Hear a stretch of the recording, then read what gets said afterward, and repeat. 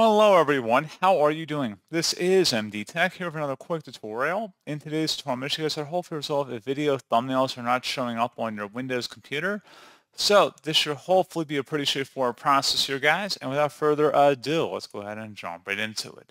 So all you have to do is open up the search menu, type in File Explorer. Best result should come back with File Explorer. Go ahead and open that up. You want to select the three-dotted icon up here in the top toolbar. It says see more when you hover over it. Go ahead and left click on that and select options.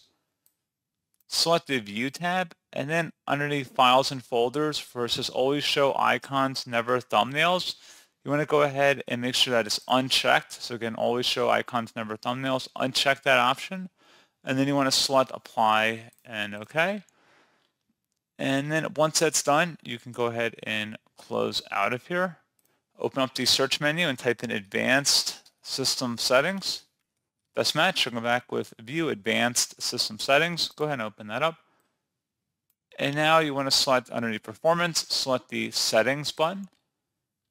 And then you want to locate two different entries in here, the Save Taskbar Thumbnail Previews, as well as the Show Thumbnails instead of Icons you want to go ahead and make sure both of those options are checkmarked in here. So again, save taskbar thumbnail previews as well as show thumbnails instead of icons. Make sure both of those are checkmarked in here.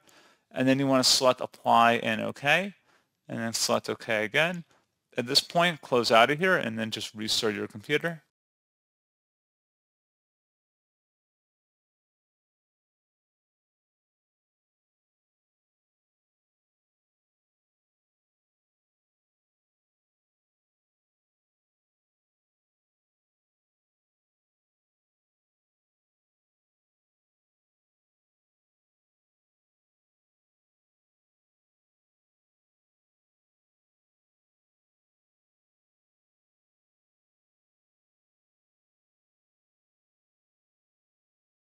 And then hopefully at this point your issue has been resolved. So as always, thank you for watching this brief tutorial. I do hope I to help you out and I do look forward to catching you all in the next tutorial.